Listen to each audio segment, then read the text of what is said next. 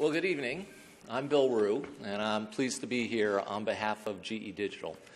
So, this is the last segment, um, but an important segment because this is, uh, this is the Legendary Leader Award. And of course, this is about a person who has provided inspirational leadership, but they've also contributed to others' innovation and success. So, when you look at someone, the Churchill Club has asked for people who can envision a brand new future. They talk about people who frame professional and societal needs and create solutions in unique ways. And equally important is this ability to develop talent, spur contributions from the people along the way. So uh, it's really my great pleasure uh, to invite John Hennessy up to be this year's legendary leader. John, please come on up.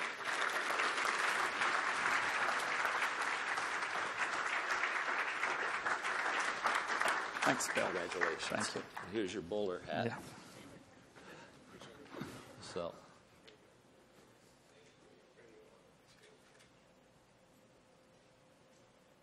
Thank you. So when I, I asked John, you know, uh, what he wants said in his bio, and he's, he's very humble about sort of just, uh, you know, make it short.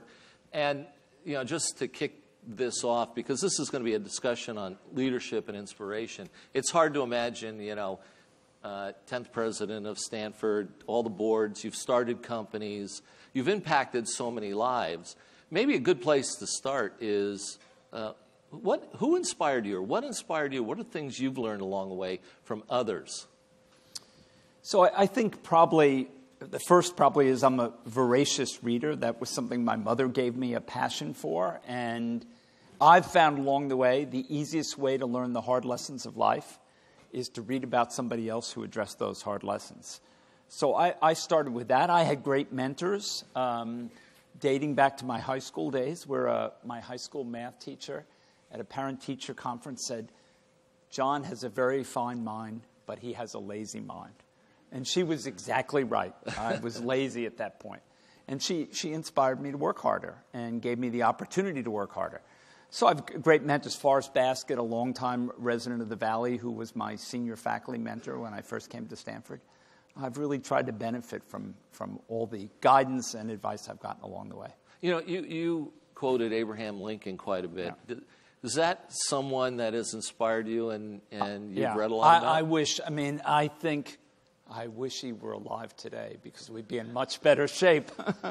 uh, yeah, I mean, I think, look at, look at, he takes this cabinet where everybody on his cabinet believes they're better than he is.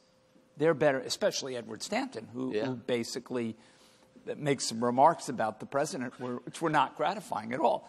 Um, and he transforms that cabinet into a working organization that can lead the country through its greatest crisis since the revolution.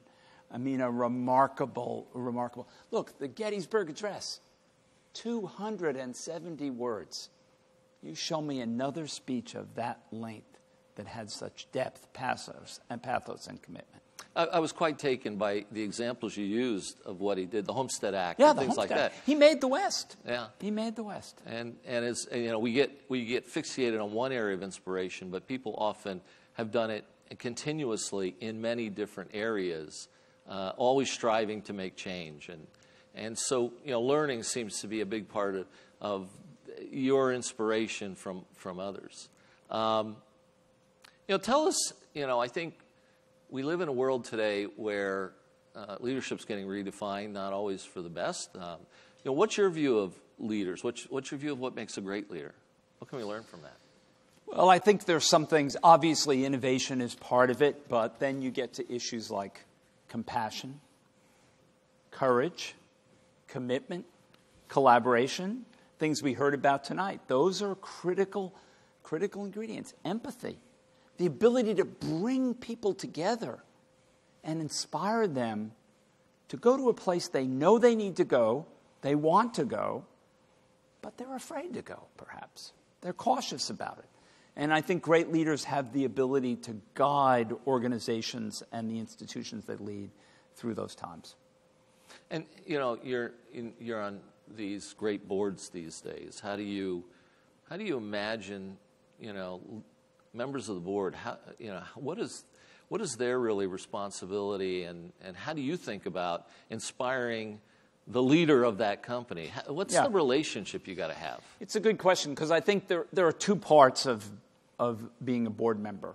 One is the fiduciary responsibility that comes with making sure that the management is doing the right thing, is guiding the company right, and that you're not going to have an Equifax like disaster on yeah. your hands, right?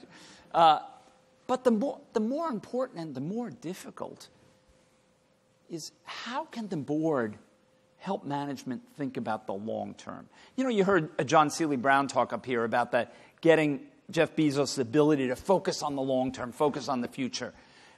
How can the board help the management team think about the strategy? Not just the next quarterly report. We become such victims of quarterly earnings reports. That's the worst possible way to manage a company. We have to think long term. We've got to think about a long term commitment, a commitment to the shareholders. So, big fascination now on the, the commitment to shareholders. But there are two other stakeholders that are absolutely crucial, and that's the customers and the employees. And in the long term, if, if, you, if you don't make those two groups happy as well, you're not going to have a viable company. Yeah, uh, you know, we can, I think, learn a little bit the discussion, you know, about Amazon and the focus on the customer and, and so on. Do you think that, uh, you know, that, that the idea you can, can you ever overfocus on that on the customer? I don't know if you can. I think uh, here I, I, think of a, a, famous quote that Steve Jobs once said, where he said, I don't ask the customers what the next product should look like because they don't know.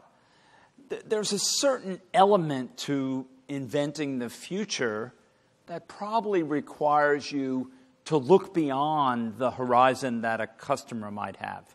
Um, and so you want to build that product that amazes the customer when they see it, even though they've never thought about it. Yeah, I think that's that's true, and I just think about the Kindle. There were other products Kindle, that were like that, yeah, but they sure. never achieved that kind of success. So there's something about you have to both at the same time lead your customers and figure out what they where they want to go to, skate to where the puck's going to be, if sure. you will. And timing, timing is crucial in the technology business timing is crucial, right? There were other PDAs before the iPhone, but the technology perhaps wasn't all right there. It wasn't cost effective yet. And I think that's something that's a constant theme. Being in the right place at the right time uh, does make a difference. So, what innovations that you've had and been involved with are you most proud about? You know, certainly, certainly um, rethinking, uh, you know, when I was a researcher, re- rethinking how computer architecture would look in the future, I think, which was um, something we just started as a brainstorming exercise, given that uh, technology was moving along, single chip microprocessors were going to be dominant. Rethink how we design, uh, how we design computers. I think the other things I've tried to emphasize in thinking about the future of the university is the really big problems we face in the world are not going to be solved by one great scholar working with three graduate students in isolation. They're going to be solved by collaborations across those, whether it's climate change, peace and security, nuclear proliferation, healthcare. These are big issues, tough problems. Thinking about how to restructure the university so that it can bring together its skills from different venues, from different different disciplines and put them together. I think that's something I put a lot of emphasis on, and we've begun to get real traction on. You know, one of the things uh, you know always strikes me about the very best leaders is they they always embrace their their failures or and and they you know the best leaders they'll admit they never were successful at everything. Uh, Lincoln's a great example. They embrace the failure and get better as they go. You know, things you've challenges you've had and how you went through those. And yeah. in those dark days, what do you do? Well, so we, we had an interesting uh, discussion with the city of New York many years ago about building a campus in, in New York City. it, it, didn't work out in the end. It, we couldn't get on the same page. We, we failed to convince them that some of the core principles we had that were key to making it happen were acceptable. And they failed to convince us that they understood how universities work. So we, we didn't get quite on the same page. Um, we invest a lot of energy and a lot of money. I had a vision that it was time for universities to think about being in more than one physical place. Yep. That you didn't have to confine yourself to one physical place, which all the great universities of the world have essentially done to date. And we were willing to try something radically new, um, but we just couldn't get there in all the pieces. I, I'm, I don't regret that we tried it. I think it was a noble effort. It was an interesting experiment, and it would have been great if it worked out. On the other hand, I'm glad I'm in California. Did something else come out of it? A lot of times we see when people find that failure occurs, you know, when, when one door op- closes, a window opens. Did something come out of it? Did you I go think someplace One else? thing that did come out of yeah. it was a big a growth in investment in online learning because we realized that if we were going to have a campus in New York and a campus in California, and we were going to have students taking courses crosswise from both places, that we were going to have to invest in that technology. So that's something we began to ramp up when the first MOOCs occurred. Uh, I think it's an ongoing, it's an ongoing experiment. It's an ongoing lesson. Um, human learning, the one thing we've discovered is human learning is a lot more complicated than simply programming a computer to treat every single person as the same. So it's an ongoing, but I think it's an ongoing critical area and something we, we need to continue to invest in. Did all your your faculty say, This is great, I'm so glad we're doing it? Well, I had to coach them along, of course. You know, it, you can't, um, when you try something that's radical, everybody doesn't jump on board. And you, as a leader, need to understand what are their concerns? What are they worried about? So, the big thing that my faculty were worried about at Stanford, if we did something in New York, was we would have a B campus. And there would be faculty at the B campus, and then there would be the core campus, and all the great people would be at the core campus. And they didn't want to have a second tier faculty. So we had to think about ways to bridge that gap and, and say that's not going to be the case. We're going to have one computer science department, and it's going to have 50 faculty here, and it's going to have 10 faculty back east. It was a radically different view of how to organize the university. You're, you're often called the godfather of Silicon Valley. I'm not um, old enough to be the yeah. godfather of Silicon Valley. That's a, that's great. uh, but you know, uh, so you, you know, you've seen you've seen a lot of leadership. You've seen a lot of startups. So give me a sense today. You think uh, these leaders of these innovative companies that are coming along, are we are we better leaders coming out? Are we worse? Are we dealing with the, the today's problems as well? Uh, you know, how, over the last 20 years, what do you what do you see happening from a leadership perspective in the valley? Well, I think it's a challenge. We certainly had the rise of founder CEOs in the valley very heavily. Um, great founder CEOs know when they don't know everything they need to know to be a great founder CEO. And I think figuring out how to make that work, whether, whether it's what Larry and Sergey did at Google, yeah. which is bringing Eric in and then, and then getting to a point where Larry was ready to lead the company, or what Mark Zuckerberg has done, which is bringing Sheryl Sandberg, who's fantastic and could have run the company herself. You know, that, that, those are great models to think about how to do that. How do you get, how do you take somebody who's got the passion to be the CEO, but maybe not all the experience they need yet, and bring them up the ramp to make them successful? I think great companies are still led by people who have a vision of what they want to do. And it's not a vision about trying to become rich before they're 30. It's a vision yeah. about changing the world in a fundamental way. So, uh, you know, moving on to the to the future, you've uh, you've you know you've had great success in so many areas, and uh, you, you leave in 2016. You know, what's your story going forward? Yeah.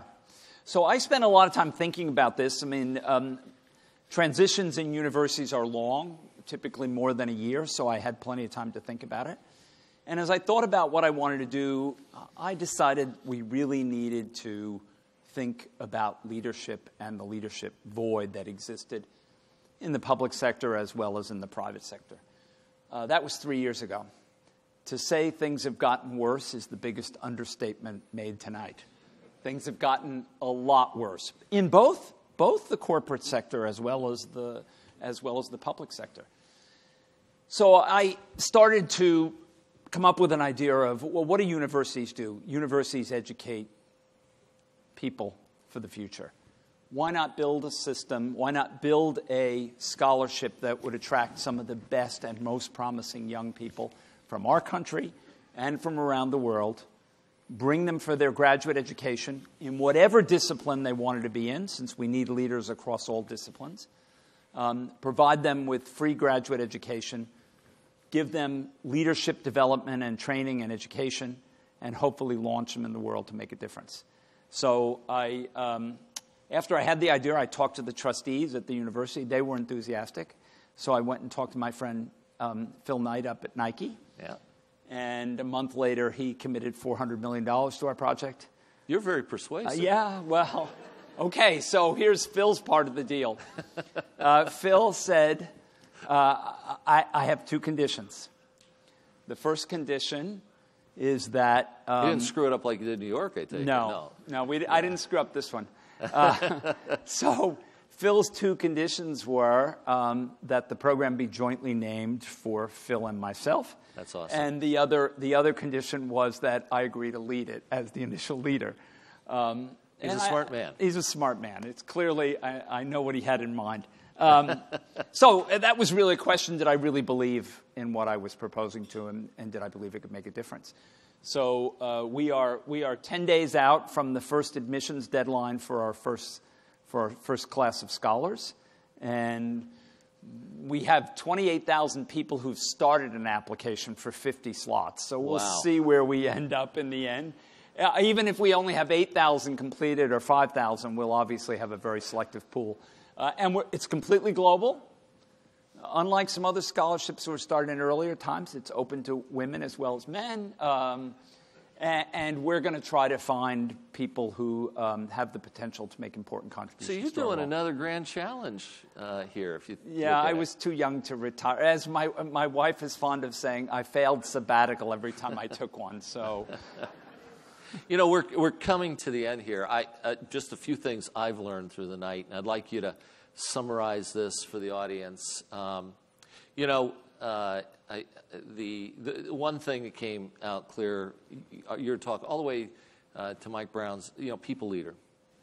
Being great people leader uh, is, I think, we often talk about it, but do we really do we really do that to really develop that? Do we really focus on the people? Do we empower them to do the work? I think sometimes we get caught in the Captain Kirk mentality, but I, you know, you got to beam down to the planet and leave the, everybody else up. Which I think this idea of great people leaders, I heard a lot of that tonight. Um, giving back, I think the idea that uh, much of the greatest innovation now is occurring in this open source give back.